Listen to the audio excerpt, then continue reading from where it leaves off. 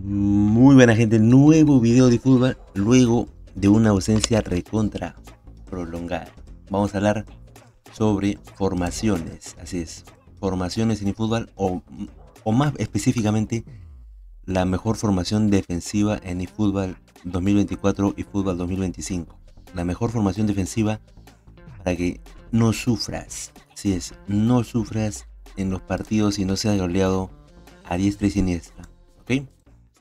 Entonces vamos al bardo y vamos con estrategia, ¿ok? Para empezar, anteriormente en el PES eh, había unas opciones dentro de las tácticas que te indicaban dónde podías atacar por el centro, por las bandas. Esta es, eh, información que te voy a brindar es para Play, Xbox, PS Steam, ¿no? no aplica para mobile porque mobile es otro mundo diferente.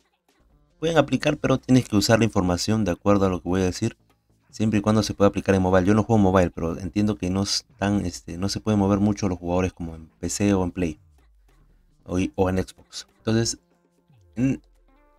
¿cómo sabes cuando un jugador ataca por el centro? Cuando tienen los jugadores muy pegados para acá, en este sentido, en este sentido. Tú tienes que ver el campo como si fueran este, cinco líneas, ¿ok? Hasta pueden ser más, ¿no? Pero tienes que ver el campo como si fueran cinco líneas. Entonces, si los jugadores están en esta posición, los delanteros, por ejemplo, están atacando por el centro. En este caso, tiene unos delanteros, tres delanteros por el centro. Lo mínimo que tú debes tener para defender a tres delanteros por el centro es tener tres defensas o dos centrales eh, no muy agresivos y un MCD adelante, medio escudo. Medio escudo importante.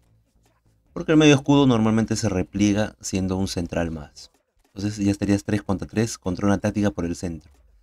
También contra tácticas que ataquen con tres delanteros que van por el centro, puedes ponerles muchos mediocampistas. Por ejemplo, a, los dos centrales más tu MCD, puedes ponerle dos mediocampistas más acá. Para que defensivamente puedas contrarrestarlo. Entonces ya esos tres delanteros va a ser muy difícil que reciban la pelota porque tienen cinco jugadores a los que pasar, ¿no? Ahora, también depende del estilo de juego. Por ejemplo, si son jugadores muy este, que tienden a abrirse las bandas, ya se hace un poco más complicado, ¿no? Pero para eso tienes tus laterales. Entonces, para defender por el centro, cuando veas que el rival tiene muchos jugadores por el medio, dos centrales o tres centrales o dos centrales y un medio escudo, ¿ok? Medio escudo. ¿Cómo? Fabiño. Vamos acá en el estilo juego. Cuando debemos defender por el centro, ¿ok? Por el centro. Bueno, pero nada.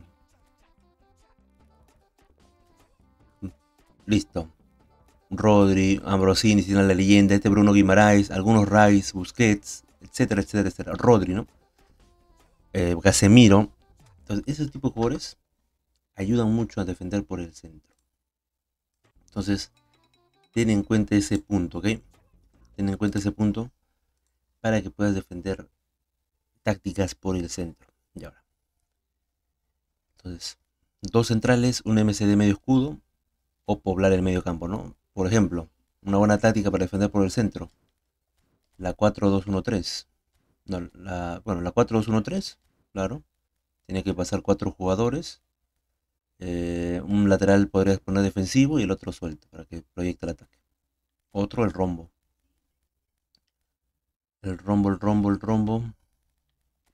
Porque tiene dos defensas, un medio escudo. Porque recuerde, cuando tres, contra tres delanteros, siempre medio escudo para que haga la equipare numéricamente, ¿no? 3 contra 3. Y dos MC, muy pegaditos al centro para que puedan interceptar los balones que dejen que vayan dar directo a los delanteros centros. Ahora, esto es para defender, la mejor formación para defender por el centro es, son esas dos, o esas dos este, variantes tácticas. Ahora, ¿cómo defender por las bandas?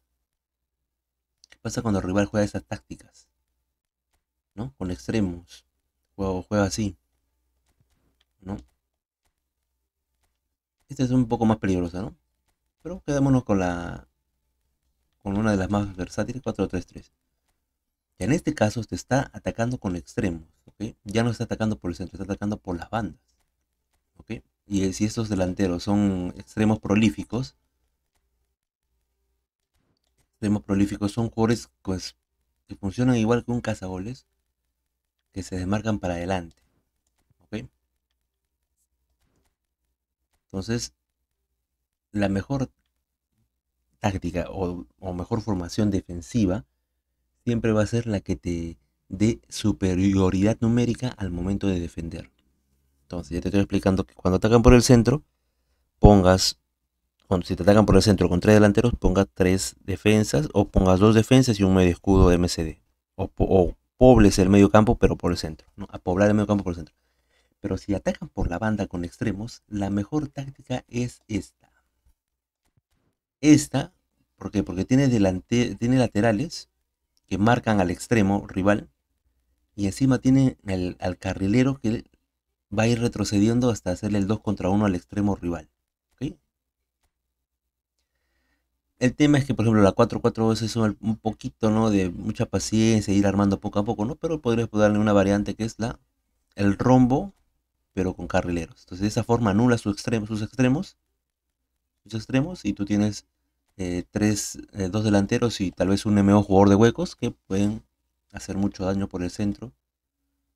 O también este, un creador de jugadas y esperar que estos extremos, luego de haber, eh, estos carrileros, luego de haber recuperado la pelota, se proyecten y ataquen. Entonces, la mejor formación defensiva para el fútbol, repito, es la que permite defender, tener superioridad numérica en la zona de juego donde planea atacar el rival.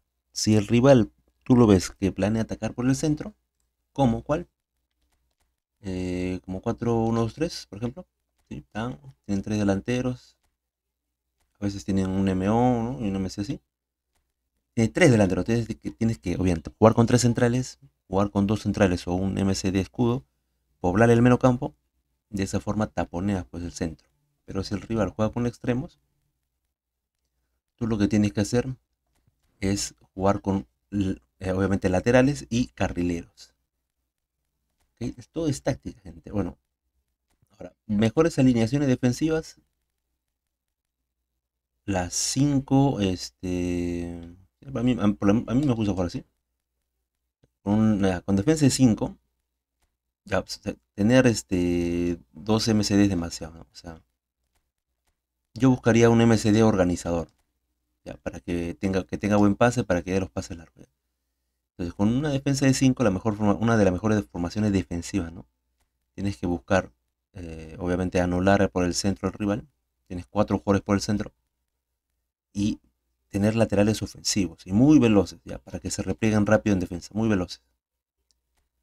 Davis, ¿no? El del Bayern, eh, el de Hernández del Milan, jugadores así de ese corte, muy veloces, muy veloces, laterales muy veloces.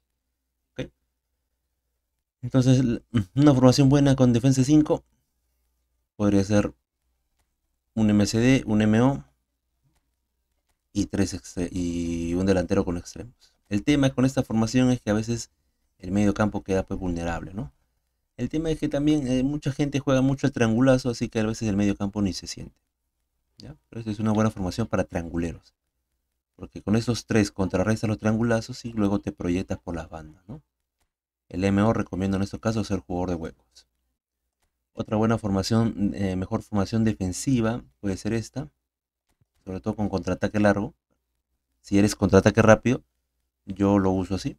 2 MO, jugador de huecos de preferencia, eh, para impedir que juegue largo el rival, ¿no? Para impedir que juegue largo, porque le estoy taponiendo cuatro líneas de ataque cuatro líneas de ataque le taponeo. De esa forma, muchas veces eh, al rival lo, le quito la pelota en su área, porque no puede salir, porque tengo cinco jugadores encima de ellos, ¿entiendes? Y normalmente los centrales son de muy poco pase, muy poca reacción este, ofensiva para dar el pase o, salir despejando en ocasiones, ¿no? Se vuelven torpes. Entonces, a veces con contraataque largo funcionan este tipo de tácticas. Un 4-1, 4-1-4-1. Pero la formación en sí eh, de 4-5-1 es esta, ¿no? De esta forma anulas los, extremos porque tiene que evadir al, lateral rival y si se demora en regatear al, lateral rival, ya el, el, carrilero le está llegando encima. Entonces son dos contra uno, imposible, ¿no? Para un extremo, en la mayoría de casos.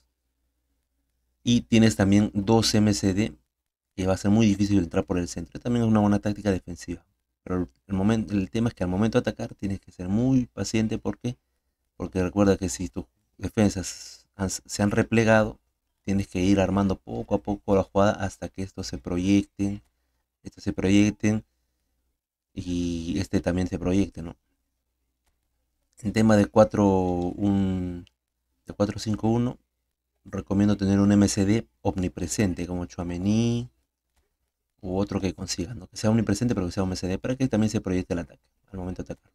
Jugador de huecos, cazagoles, tal vez un carrilero creador de jugadas para darle los triangulazos y el otro extremo, un extremo prolífico, pero ambos deben ser muy veloces, Esas dos formaciones son una de las mejores formaciones para defender. Bien gente, nos vemos, espero les haya servido el video y no se olviden dejar su terrible like, su terrible like para seguir subiendo videos de fútbol. Hasta la siguiente gente. Cualquier duda dejar en comentarios para yo poder absorberla de manera rápida.